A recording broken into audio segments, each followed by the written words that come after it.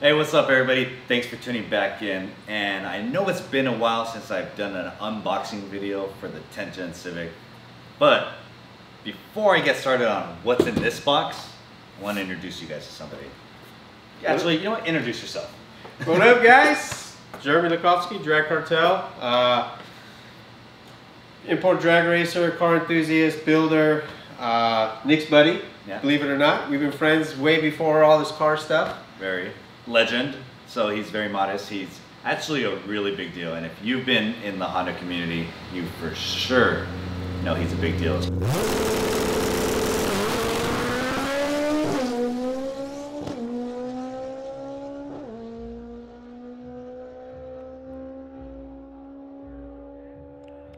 So, anyways, back to this. Um, Let This- this everybody big know deal. what PPG is. So, PPG uh, is actually an Australian brand for aftermarket transmissions. They're well known for H pattern, uh, dog engagement, and synchro engagement. Dog engagement's a little bit more on the full race side. Synchro engagement's a OEM replacement, hundred times stronger. Um, so that's kind of where we're at with this. So PPG, the brand itself, probably not a lot of guys in the 10th gen market know it yet. You, yeah, uh, you're about to. Well, you're seeing it first. Correct. Wait till you see it in action. Oh yeah, because this is just on a Nick's car. yeah, but getting down to it, they realize how big that 10th gen market is, and we want to thank all you enthusiasts going out and buying those SIs. Oh yeah, You know, and going to the meets and The fixing meets. them up, modi- Yeah. modifying. them. 100%. I've met, thankfully, I've met a lot of you guys, and that actually helps me when I go to all these trade shows and you know I, I have meetings with Jeremy and just other manufacturers. They ask everybody's opinion on what's the next platform, and thankfully, me and him are able to just have connect. proof. Oh yeah, we connected. We talked at SEMA. We finalized it at PRI in the PPG booth. Yep. Well, I saw, Literally. insert the picture here. And to, in order to get PPG in the United States, it ultimately comes through you. Correct. We're the we are the master. They consider it. It's called the master distributor. Okay. And I know a lot of you guys are new to the community, especially the aftermarket community of this is probably like your first car that you're building. Um, things take time, especially things like this, because this is there's so much behind the scenes stuff that goes on, it and again, this isn't even made here. It's they're in Australia. Correct. So- there's, there's engineering. There's a lot of engineering. You know, when putting something like this to market, you know, we're literally simulating this in software Right. using 3D modeling, making sure case fitment of case fits. You know, we're all we're, we're enlarging the gears, right? We're enlarging it. We're changing tooth profile, gear ratio, as well, which is huge. So not even that's something we'll get into as well. Yeah, that's that's, a whole other deal. whole- but so that's- that's that's that's where like you guys have problems putting the power to the ground. Well, this gear ratio one will not only just help keep the transmission happy, but also help put the power to the ground. to give you guys a basic 101 terminology for that, think about what Honda did with the 2020 SI. They changed the final drive, so they made it shorter, so then it's, it just accelerates quicker. It doesn't There necessarily yeah. make more power, but that is the difference with gear ratios. Correct. Inertia. Inertia. Keeping the power as well in the power band. Right. Right. So that's just like the most common way people always talk about peak, peak, peak numbers. I'm more about mid range. Yep. Right. When you you shift your car from second to third, you do not want it to fall out of the out of the power band. Right. Right. So that's where the gear ratio will come into play. Thankfully, I personally have never had any issues with my transmission, and I've had this, the same one that I got from the manufacturer. And as you guys know, I've put a lot of stress on my transmission. Um, but you're probably asking, well, then if I never had issues, why am I even bothering with the gear set? Thankfully, from experience, and I'm not new to the community, I know Inevitable. it's it's bound to happen. Yeah, it's inevitable. It's bound to happen, and I know a lot of you guys have already experienced it, and, and Everyone, It's depressing. every- everyone has a different driving style. yeah, uh, everybody's has a little bit different uh, objective power wise, and some guys just go for it and they build it until it breaks and then fix it. And I feel like Nick did it the other way. I think Right. you know I've seen some of his dyno numbers. I can't say, Right. but I feel like Nick ha- is has been real modest uh, of putting the power to to the vehicle and actually using it Oh yeah, to, to try to you know baby the transmission, yeah. right? Well, we have to. Um, we already know, you know, down to putting a stronger clutch. You're just shocking the gear. So it's like we're babying it, the launch, and the same thing with stock axles. We just have to. I'm surprised we haven't broken the transmission, especially on the dyno, because I know dynos are really aggressive. Yeah, on the drive track. the dyno. on the pack. Pack, So yeah. on the Dynapack, it's direct to the hub. There's Yeah. no slip. There's no give. It's hammer down. Yeah. So thankfully I've been fortunate, but like I always tell you guys with just anything, it's if you have a goal and you know you want to push your car a lot more than what it was intended for, be proactive and get the extra insurance, you know, build the motors, build the transmissions. Oh, yeah. And You're that only, way you're only going to enjoy the car more. Oh yeah. That's the key. It's it's it's all blood, sweat, and tears, man. But the first time you put that new motor in or the transmission and you're pouring that torque oil in it Oh, and getting ready to take that thing outside and pull it out of the garage and piss off your neighbor at 2 a.m. That's For the best feeling in the world. The first startup moment. You yeah, Guys, you guys know exactly what Yeah, it's the best feeling in the world. Um, and there's no, yeah, this can't even explain it. Yeah. First person to comment the amount of boxes that are in the entire set, you'll get an oh Ososik decal set. Drag And- Cartel T-shirt. T-shirt. Oh, see, I was gonna say that in a Drag Cartel T-shirt. So Dope. go. Guess right now. Good. Got it. Did you comment? All right. Let's keep going. All right. I don't even Enough know what the box. peanuts. I don't know what we'll start. to I start say start with the input shaft. So this is the main heart, right? So you have the input shaft. On the input shaft, actually first gear to make it stronger is actually straight cut. So normally you'd only normally see a straight cut gear like on a race dog box. So we kind of made it overkill. So this kit right now as it sits is rated for about 800 horsepower. Oh, jeez.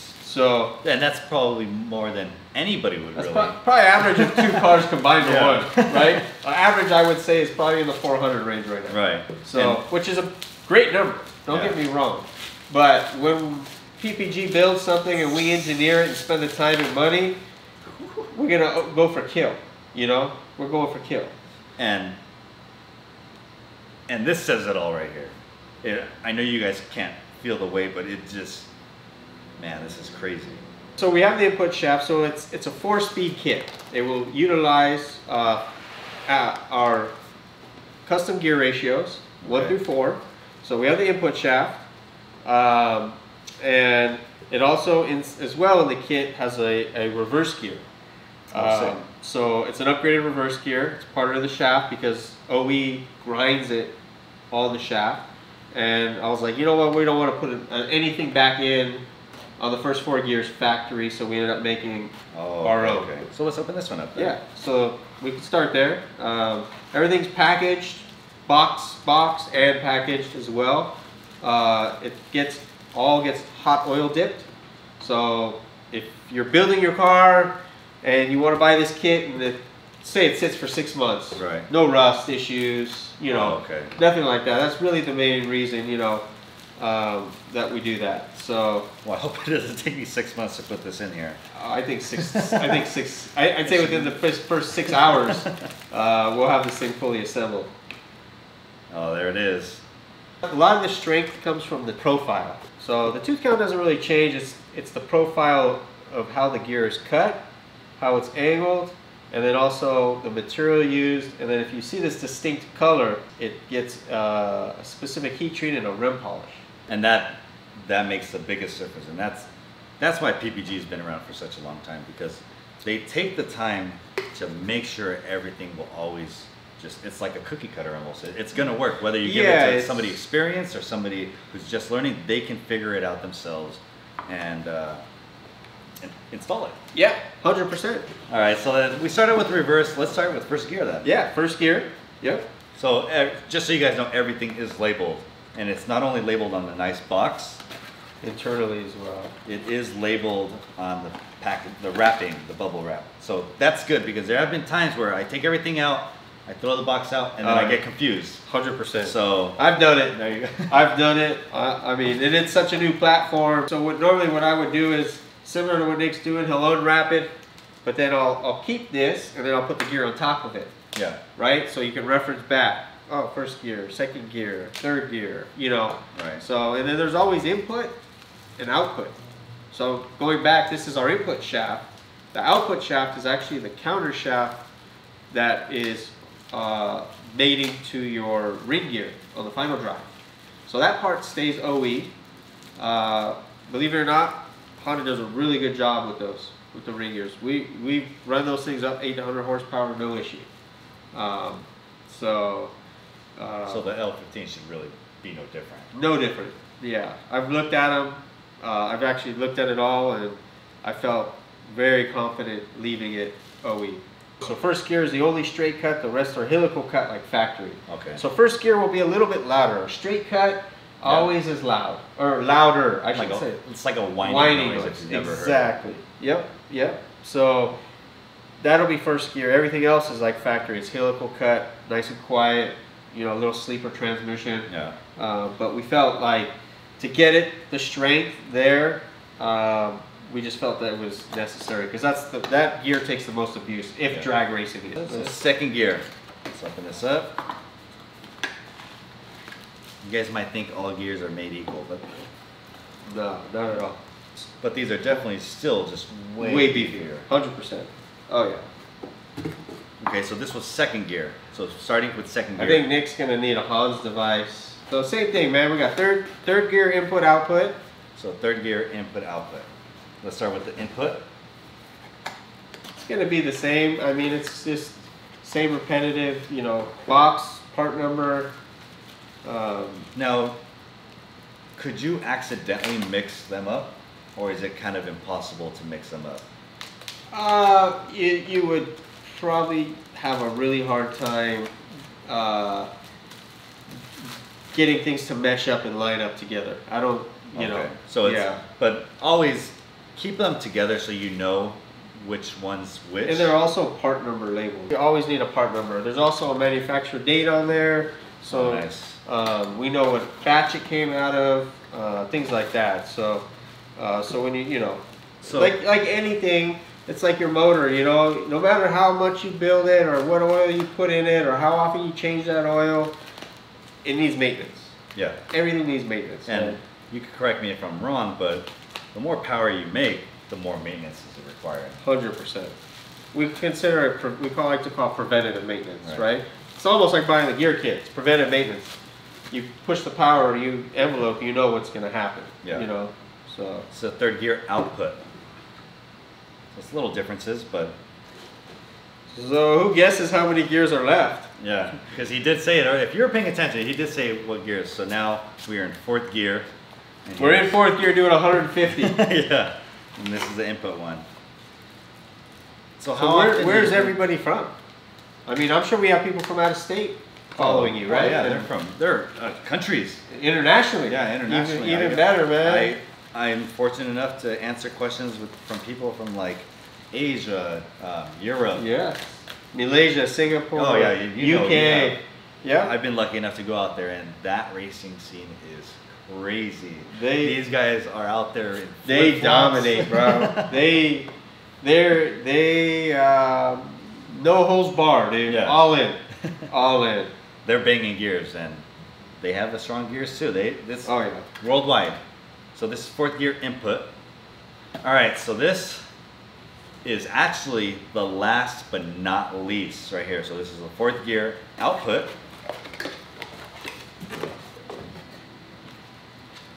I hope you guys are excited. I'm excited. Eight, eight total parts in a kit. Eight. on- Who Eight. guessed eight?